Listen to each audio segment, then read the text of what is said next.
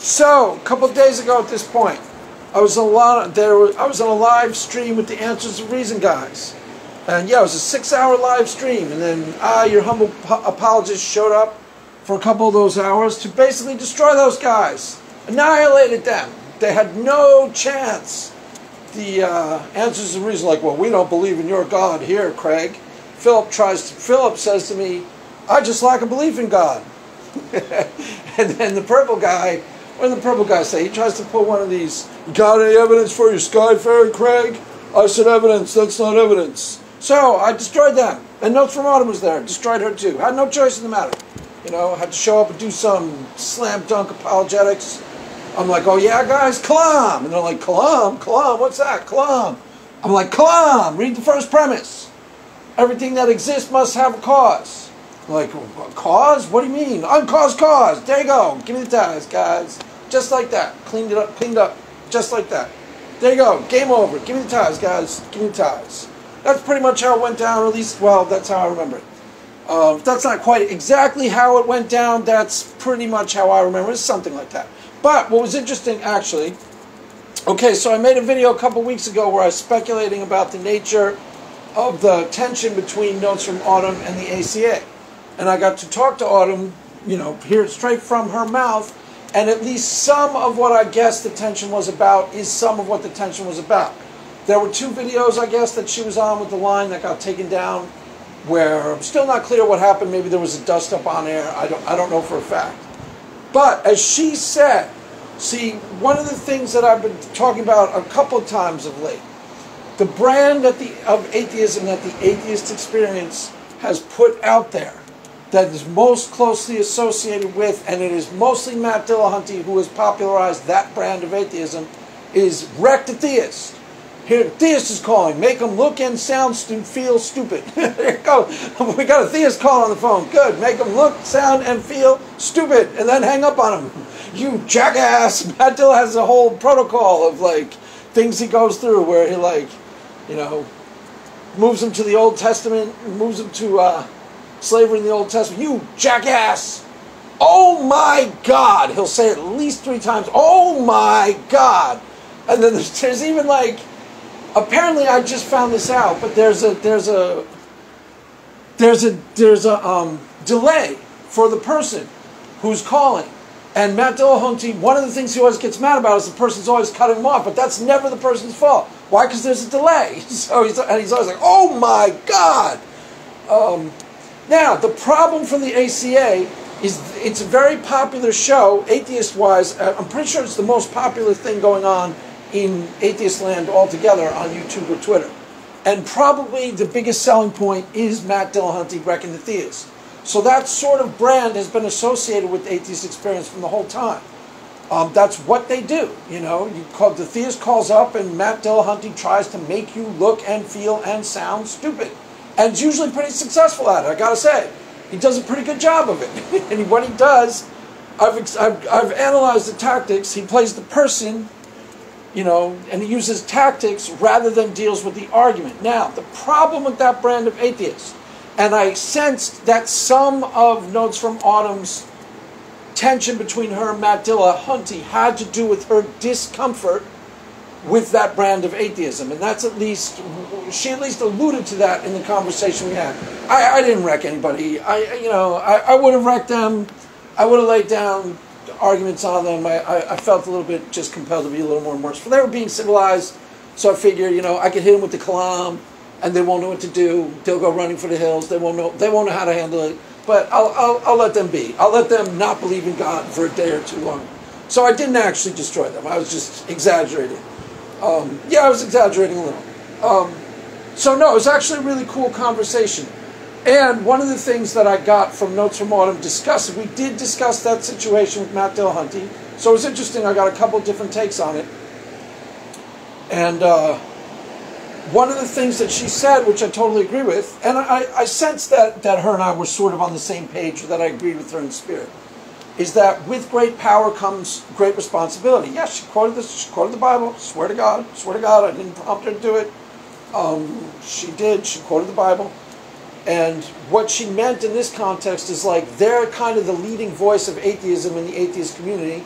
the leading representation of what most people think of when they think of atheists uh, on Twitter or YouTube. So they have some responsibility to represent the the other voices in the community, other types of atheists. And I totally agree with that. that's at least what I thought she meant. I'm pretty sure that's what she means. She didn't quite spell it out, but that's what I got from what, from her comment. And I totally and 100% agree with that. Now that's one of the things I've been saying the whole time. There's a tension between these are basically the philosophical atheists that I was talking about. This is like one of the main crews. There are other types of philosophical atheists out there, but it's a totally different type of atheist. It's a totally different type of atheist experience. Ironically, I was on the show, I was on the channel with them, and like, you know, the the when the problem with the Matt Dillahunty brand, there's a lot of problems with it, but one of the key problems with it, okay, is first of all, it requires stupid Christians. That's what it requires. Now, so once upon a time, that was really easy to do. Why? Because there were no really smart Christians in the space. I swear to God, that's true. That's part of why this type of debate me, bro, style of atheism got so popular. Why? Because there was only a handful of Christian apologists. Uh, most famously, Venom Fang X, and this guy Joshua Feuerstein. If you know any of those names, you know who I'm talking. Go look them up. I, am not sure if their videos are still around, but you'll see.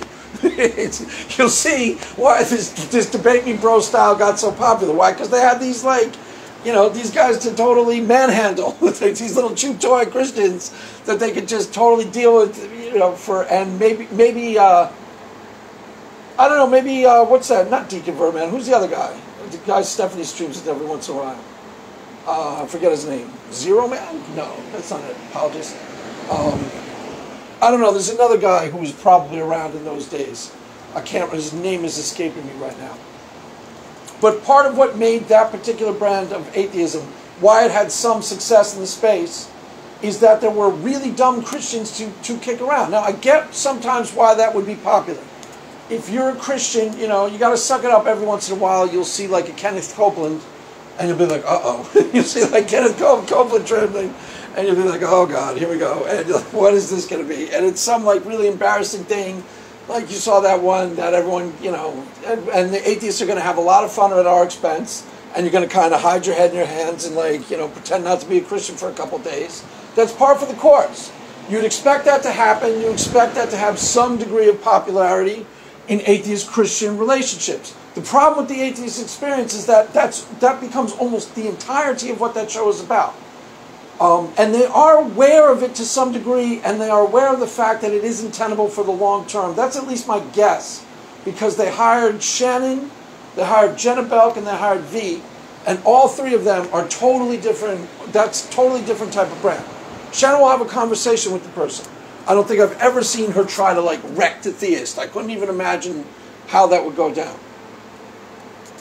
But a key part of why the atheist experience is popular is that dynamic. That's what a lot of people are there to see. Matt Dillahunty manhandle some Christian and make him look and sound like an idiot. And Matt Dillahunty does it really well. And the problem for the atheist community in general is that particular style of atheism isn't tenable for the long term. Why? It requires stupid Christians. And if the Christian isn't stupid, then you have a, problem, potential problem, because, like, for example, Christian Idealism called the show um, most of the people listening to this video will know who Christian idealism is. Not stupid by any long stretch of the imagination. Actually, one of the sharper tools in the shed. You can go watch his debate with Ben Watkins. Um, he had a couple of long conversations with Jeffrey Williams. You know, some ways he's he's really sharp. And even Matt Dillahunty went out of his way to try to make him look stupid. He posted the video on his website. You can go watch. I'll, I'll have a link to it. You know, and he, he basically objected, rightfully so, here he was calling up to I'm forget what he what type of argument he was trying to lay down. But Matt Dillahunty even successfully made him look stupid. Now, if you make somebody look stupid who isn't stupid, that's not on them, that's on you. And that's not cool. And that's potentially a problem, and that's part of what Notes from Autumn was objecting to. If I'm a Christian and I call up and I've actually got some halfway decent arguments, you know, the onus is on you to have enough integrity to let those arguments be heard. If you got comebacks, that's fine. But he like did this pulled pulled stunts with did tactics with Christian idealism, made him just tried to make him look and sound and feel stupid. And that's not a really good that's not a really good look for the entire community. That's part of what her objection was, at least part of what her objection was. Then she also had some things about them being uh, I guess a nonprofit, you know, that's not my thing. I don't know anything about that. But part of the objection and part of the objection with the philosophical atheists is that's not their brand of atheism. That's not what they do at all. For example, I was streaming with them the entire time as a Christian, and they didn't make me feel, they didn't even, you know, try to make me defend my faith at all, which I wouldn't necessarily expect them to. But um, their brand of atheism is tenable for the long term. It's basically these are people who are really interested in philosophy of religion. They're honest actors, and you know they don't believe in God. There's no conflict there. There's no. They're, they're not contingent on anything that happens in the Christian community. They certainly aren't contingent on Christians being stupid, but they aren't necessarily contingent on any behavior from Christians at all they can have their their do have their conversations about what constitutes evidence and what constitutes good arguments, and that's the type of conversations they have. When I wasn't there, and when I was there, you know, it, it, it didn't change the dynamic at all. They didn't spend any time trying to debunk, dismiss, or discredit me. Now, that's how I expected most atheists to act prior to me coming into space four years or so ago. When I first got here, there weren't as many apologists around. Now there's a lot. And a lot of the apologists who have come in the last two or three years are not stupid at all. That's why the uh, the debate me bro style of atheisms, its days are numbered. Why? Because most of the Christians who have shown up in the last two or three years are, aren't dumb. They have actual solid arguments. You can object to the arguments, and you can uh, you can have a good conversation. You know, before I got on the uh, on the show, they were talking about Thought Adventure podcast, the Muslims, who are actually really pretty grounded in the philosophical arguments. And, you know, it's basically a cautionary tale as to what happens to debate me, stro, debate me bro style of atheism when they go meet someone who's actually prepared with the argument. Um, you know, even Matt Dillahunty would struggle with those guys a little. He may he'd probably be able to handle them, but when you saw Aaron Ra on their show, they basically walked him through the logic of the contingency argument and they more or less got him to sign off on necessary being until he realized what he was doing. There's like, oh, oh, oh, no, wait, wait, wait, wait, no, then he, but they spent about an hour and a half. It's like a case study in walking somebody through, you know, the logical implications of a halfway decent argument for God. That's what happens to a debate me bro style of atheist when they're actually come up against people who are prepared philosophically. They look dumb. That's the point. The type of atheist that's debate me, bro, only succeeds in making Christians look really stupid if the Christians, you know, conveniently happen to be really stupid. yeah, that's fair. It happens a lot, though, Craig. I understand that it happens. It's not that hard to find, you know, uh, not that intelligent Christian to kick around. And that's part of what made the show successful. But now, as the show is starting to get more popular, there are other types of Christians who are calling up the show and they can't be easily dismissed. If they are easily dismissed, like he did with Christian idealism, that's not that that should that's not integrity. Why? Because Christian idealism actually had intelligent things to say, so he should have been heard and given a fair hearing. Now, Notes from Autumn doesn't want to participate in anything like that, nor do the do the guy the answers from reason guys. That's what I'm saying. It's a total they're a totally different type of thing. But what their, their type of atheism, the philosophical atheism, what I've been calling it, I might come up with a better name for what they represent in the future, has staying power. It's not contingent on any behavior from the Christian community. It's not contingent on anything happening in Christianity at all. They're basically they're self-contained and there's no contradictions in how they are. The debate me bros have a have a really big glaring contradiction in their behavior. Couple. First of all, as a general rule, they aren't the sharpest tools in the shed. If you don't believe me, they, go watch them square answers and reasons squaring off against them himself. Because I've seen him go. I've even joined in a couple of his threads where I've supported him. Why? Because he's been right. He's been right, and he's been having um, you know a debate with members of his own community who just don't get it. And these are like the science this, science that guys. They're like science, science, science. Oh my God, I can't believe how awesome science is. And they don't understand how science works at all. They don't understand anything about science or the history of science. I swear to God, this is true. That's where I jumped in. I was I jumped in to defend answers from reason. Why? Because it was 100 percent correct.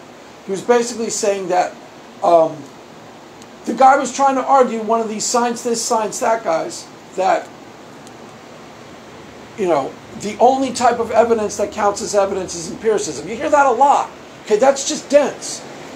That's not a that's not a, a legitimate claim. That's just dense. That shows you don't really understand how science even works.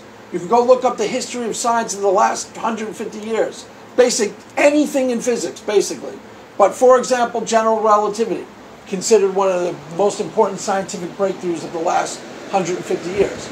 General relativity, not once one ounce, not one ounce, and this is generally the rule with theoretical physics altogether, not one ounce of empiricism went in to, for, to Einstein's formulating the theory of general relativity. Not one ounce, not one minute. Not one minute of empirical investigation went into it. It was all argumentation. So what, what Answers from Reason was trying to argue with members of his own squad. Now these guys need to eventually yield and listen to, to the philosophical atheists. Why? Because they're right. They're more intelligent than your average atheist, but they're also correct. They're paying closer attention to actually how argumentation works, and they're interested in philosophy of religion and they're they're basically paying close enough attention that they're actually getting things mostly right. So he he was saying yes, argumentation is does count as evidence. And the guy was saying no, it's just empiricism, just empiricism. Okay, that's just not true. General relativity, for example, was formulated almost entirely by thought experiments, mathematical axioms, and um, uh, Inference. That's it. That's it. That's the entirety of general relativity. It was, you know, formulated almost completely in Einstein's brain through thought experiments, which is a form of argumentation, mathematical axioms, which are another form of non-empirical, uh, non-empirical means. It wasn't until years later, usually, when you're talking about th- theoretical physics, not till years later, that things get empirically investigated for at all general relativity wasn't until two years later that they got some empirical evidence to back up, I think it was the bending of light or something like that. Uh, the basics of general relativity, space and time, and the curvature of space time, and um, how gravity, it's the basics of how gravity, you know, how gravity works. Um, it is considered one of the biggest breakthroughs in science of the last 150 years. Is that and quantum mechanics. Those are the two big things that are considered the breakthroughs of the 20th century. But quantum mechanics had a little bit more to do with empirical investigation. General relativity had almost nothing to do with empirical investigation. Oftentimes, when you're talking about theoretical physics, the, the, when, when it comes time to investigate, the cost of building something like a Hadron super collider is so gargantuan that they don't go investigating until they're almost pretty sure they're going to find what they're looking for. So empirical investigation doesn't usually enter into it till years after the fact. And even like Einstein versus Niels Bohr, which I've referenced in some of my other videos, this was an argument about the nature of quantum mechanics. Okay, they didn't do experiment to experiment. It's not like Einstein did an experiment, go see, and Niels Bohr did another experiment, go no, look, see. It was nothing to do with empiricism. It was all thought experiments. You know, the famous photon in the box experiment. I forget what the actual experiment was. But he was Einstein was trying to argue that there was a mistake in quantum mechanics because of the indeterminate nature of quantum mechanics. Tripped Einstein out. That's where he got the famous, you know, God does play dice with the universe. Um, so he was arguing that there were hidden variables that explains some of the seemingly indeterminate nature of quantum mechanics. He eventually wound up losing the argument or yielding the territory to Niels Bohr. But they, it was a series of letters that they sent back and forth. No empirical investigations took place whatsoever. That's my point. So the guy who Answers from Reason was talking to, where he was saying arguments count as evidence, he was basically, his job was to teach that guy, and that guy was just saying stuff he knew nothing about. Now that's pretty common when these guys swear off with members of their own tribe in the atheist community. You find them, te- they, they should be teaching these people, and the people who they're swearing off are generally, generally speaking, the debate me bros. The irony of the debate me bros isn't just, just that they tend to be really dumb. Okay, Matt Dillahunty isn't dumb. He's borderline brilliant, if not actually brilliant. That's why he's gotten away with it for so long. Aaron Ra isn't dumb either, but Aaron Ra's take on religion can be really dumb, he'll do the same thing. He did it with Arjuna. You know, Arjuna was, uh, was the Hindu guy who was on my channel, and one of the reasons I had him on my channel is I saw him on Aaron Ra, and I could tell by, by what he was saying to Aaron Ra that he definitely had something upstairs, something to offer. And sure enough, you know, I'm pretty sure it's a degree in philosophy. But Aaron Ra's spent the whole hour and a half trying to make him look and feel and sound stupid. And the audience bought it, but I didn't. I was like, dude, this is just ridiculous. The audience bought it. I can't believe this stupid religious guy, this stupid Hindu is just as dumb as the Christians. You know, sometimes it's legit. Sometimes they get a Kenneth Copeland on an Aaron Ra's show and he, and he manhandles them for like appropriate reasons. Why? Because the guy is a Nimrod. That's fair enough. And sometimes dumb Christians call it the atheist experience. And the early years, I'm sure, was mostly stupid Christians.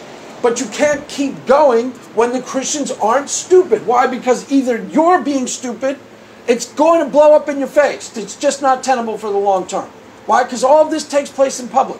Everybody can check your work. There's nothing being, there's no videos being made out here that aren't just in the privacy of your own home, and you're not writing down Twitter tweets in the privacy of your own home. We can all check to see if you know what you're talking about.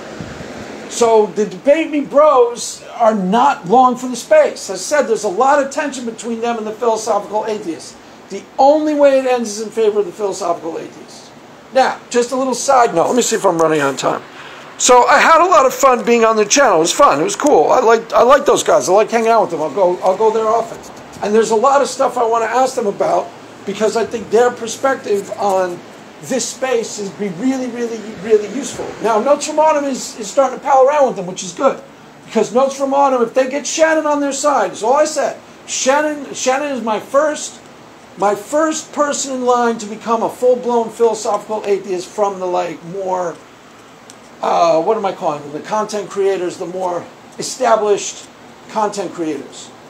She's a kind of a big star in the atheist community. She, I fully expect her to become one of them very soon.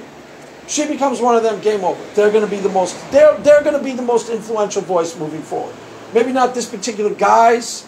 I mean, it could be these particular guys, but this particular style of atheism will stand the test of time. Why? Because there's no contradiction in it. The main contradiction of the Debate Me Bros is that they're dogmatic ideologues. That's the part that really threw me when I first started doing apologetics. When I first started doing apologetics, I didn't know anything about apologetics. I just started a, a, my Twitter feed on a whim and uh, started my YouTube channel more or less the same way. I, I barely knew what apologetics was. I got up to speed relatively quickly, but the one thing that really threw me, I thought I was going to get along with atheists pretty well. Uh, generally speaking, in the real world, I get along with everybody. Doesn't matter. Any any group of people, I can go become one of them just like that. So I thought I was going to get along with atheists really well. Why? Because I thought we had some stuff in common. As a general rule, atheists are a little bit more open-minded and thoughtful than your average Joe, and they are smarter than their average Joe. That is does have a lot to do with why they deconverted originally. They're more inqu- inquisitive. You know, there are certain types of people who sit in a church and don't want to question. That's a type of person. They don't want to ask questions. They just want to do their thing and be left alone and be at peace with it, which is fine if that's the type of person you are. The atheists tend to be a different type of person, more philosophical in nature, as a general rule. So I thought I'd get along with them really well. That's the way me and my sister are. We get, to get us together, we can talk. but I don't want to say BS. We can BS for four straight hours, but, but you know, basically what we're doing. Um, atheists the same way. Or I, I, I, my guess was they were the same way. What I was shocked to find was this sort of debate me, bro, wreck the Christian culture. I blew my mind. When the first time I was on an atheist stream, the guy was just trying to shut me down, make me sound stupid, make me look. I blew my mind. I was like, what on earth is going on here? This is really bizarre. Then I got used to it after about a year and a half, and I got used to the fact that there's a lot of atheists who are like that. Now, not all atheists are like that. That's the point.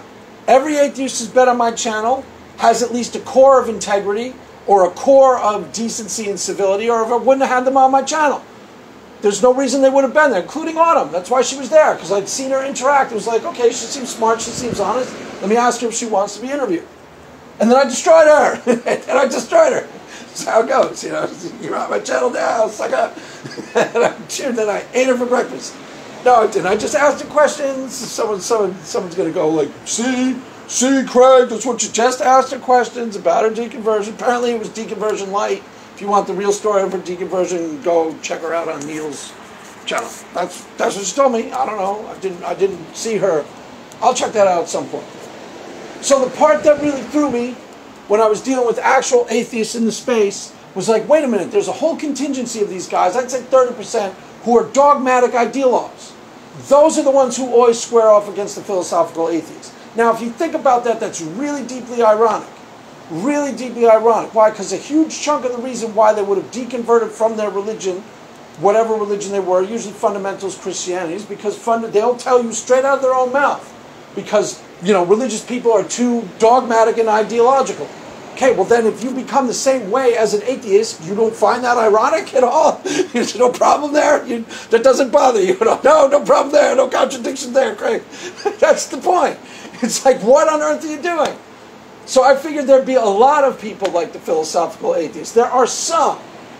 And they ultimately are going to win. There's a tension, like I said, there's a tension between them and the Debate Me Bros. The reason why the Debate Me Bros have been so successful and have come to somewhat define atheism, which is what Autumn was complaining about, because atheist experiences come to be most people's defining perception of what an atheist is.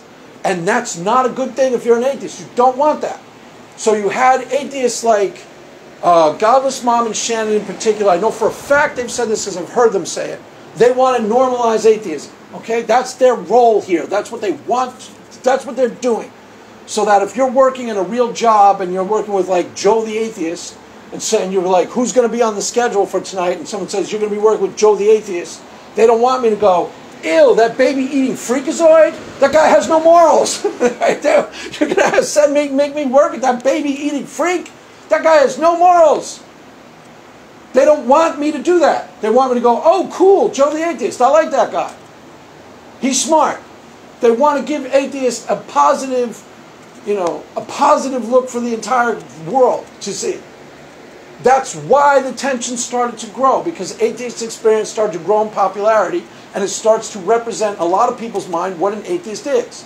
Now, that sort of brand of atheism has an appeal to a certain type of debate me bro clown. Why? Because that's what they show up here to do. I want to debate someone. I want to make them feel dumb. Can't wait to be like Matt Dillon. Shut you down, debate. Ah.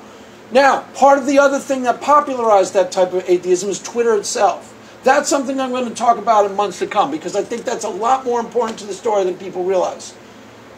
The one thing that really shocked me, or didn't shock me, but I found very, very interesting and noteworthy, when I went back to New York, now keep in mind where I'm from in New York is Westchester County, and most of the people I know are secular, secular nuns left wing liberals. If anybody you'd expect to become atheist, it would be where I come from. If, you, if there were any storefronts of atheism in the real world where there's like, here's an atheist, you know, chapter or atheist store, an atheist community center, it would be where I come from, and there aren't there. That really threw me. There's only one place where atheism, or two, a handful of places in the country where atheism has made any real world, like Austin, basically, and maybe Portland, maybe a couple other places. But other than that, atheism exists online, somewhat thriving online, you know, on Twitter and YouTube. But in the real world, it hasn't penetrated at all yet. At all. Which threw me. It tells me that it's something I suspected, but, but I'm going to go into in videos to come, is there's a real big disconnect between Twitter and what's still going on in the real world. Like there's a lot of stuff that I was telling my sister about that she doesn't even know is, is happening things going on with trans trans wars and trans activist type stuff. She didn't know even know was happening, and she follows the news pretty closely, which tells me that you know what we what we participate in hasn't really penetrated the real world yet. So that's something I'm going to talk about a lot in videos to come, and hopefully I'll get to some of these guys on my channel, uh, particularly the Purple Guy and Answers from Reason and Phillip, or I'll go back on there and get their their two cents on the subject because um, I'd be interested in what they have to say about it. But so, anyways, uh, rambling a little. The long and the short of it is, it was a pretty cool conversation after all. I could have wrecked them. I could have destroyed them. I decided it would be better not to destroy them and save it for another time when more people are watching. Then I'll destroy them. Then I will destroy them, yes. But at this time, I, you know, I held back. I held back my big guns. You know, I had the Kalam in my back pocket, ready to slam it down and just see, watch them all run for cover. But I decided to keep it. um, I actually don't really think the Kalam is all that great of an argument. By the way, it's one of my least favorite arguments. So I'm being facetious. Entirely not even. I'm not even like. I'm not half kidding. I'm being entirely facetious. Just entirely kidding. Just so you know, I don't think the Kalam is all that great of an argument. Um. So that's the long and the short of it. The the goal of somebody like Shannon and Godless Mom is to make atheists normalize atheism Okay, that goal is not consistent with the type of atheist, the debate me bro culture that atheist experience has been incubating. That culture is toxic to a large degree. That culture is toxic to even other atheists. That's part of what Autumn was objecting to too. She didn't bring it up today in the stream where I was with those guys, but uh, she's mentioned in the past. She's it manifests as far as she's concerned is like I guess you know people belittling her because she's a woman, but I think it's also, debate me bro culture tends to be toxic in general. And it does tend to be like manly man, like, blah. you know, Matt Dillahunty is a big, beefy, burly guy. Did you ever notice that? He is. So is Aaron Ra. And sometimes they actually play into that fact, particularly Aaron Ra. Now, doesn't affect me. Why? Because they're not they're not tough guys where I come from. They're not even close. They're, they're, they're, nobody in the Bronx would ever mistake Aaron Ra for a tough guy. Nobody would even come close. He'd be terrified from some of the neighborhoods I've been to. He'd be terrified, literally terrified. But that does play into it. So she's right about that to some degree. There is some sort of like manly man, ah, rah, you know. that's a part of it. I swear to God, that's a part of what's going on. It's part of why Stephanie was getting it so hard. Some of it was that Stephanie was a she. I swear to God that's true. I swear to God that's true. That's a part of it, for sure. It's not the whole thing, but it's definitely there.